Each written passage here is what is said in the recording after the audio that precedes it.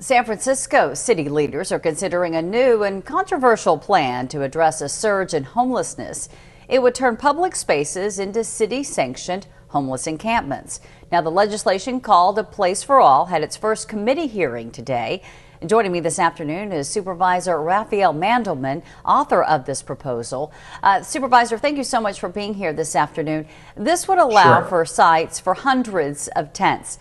Who would be offered a tent and where would these sites be located? Yeah, so so taking a step back, this is actually not a tents for all proposal. It's a shelter for all proposal that could be uh, using safe sleeping sites, but could also be traditional shelter, navigation centers, or even SIP hotels.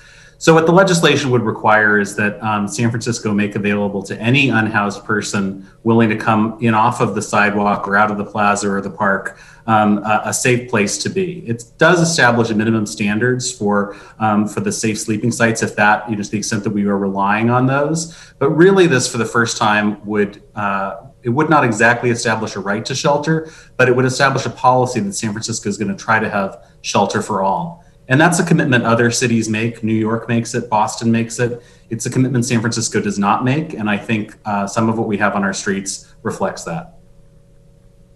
How long would people be allowed to stay at these sites? So these are intended to be, you know, temporary. Shelter should be a temporary path um, to some other exit from homelessness. Um, and so the hope is that folks would not be there for long. Um, we have a tremendous shortage of permanent supportive housing. Um, I think we have seen during the pandemic, we've seen an explosion of unsanctioned encampments, which are uh, dangerous for the folks who live in them and um, and terrible for the neighborhoods where they're located. We've also explored some uh, regulate city regulated and managed encampments, and I think that we've seen that those can be part of um, our solution, at least to ending street homelessness. I think we need to try to end street homelessness in San Francisco, even if we can't get every unhoused person a home. Now, you mentioned that these would be sanctioned encampments, but again, where exactly would they be located? Would they be on, on public parks? Would they be in every neighborhood across San Francisco? So this is just the very earliest step in this process. There's a policy statement that would say that that we're going to try to have some kind of shelter for everyone and would include safe sleep sites as that um, as part of that. But then we would ask our Department of Homelessness and Supportive Housing to take four months and identify potential sites for uh, for safe sleeping sites or for other temporary shelter, um, and to also give us a cost analysis. Right now, we don't really know how much full implementation of this policy would cost, and so before we move forward with it, of course, we would need to have that implementation plan back for the board of supervisors to consider, um, and then decide whether we're going to move forward with a shelter for all with implementation of actual shelter for all. Yeah, and Supervisor, you can understand though it's it's difficult for people to get on board with this plan. A, if we don't know the cost. B, if they don't know where these sites are going to be. We're already hearing from homeless advocates that that this does not address the root of the problem, which is permanent, uh, affordable, permanent housing.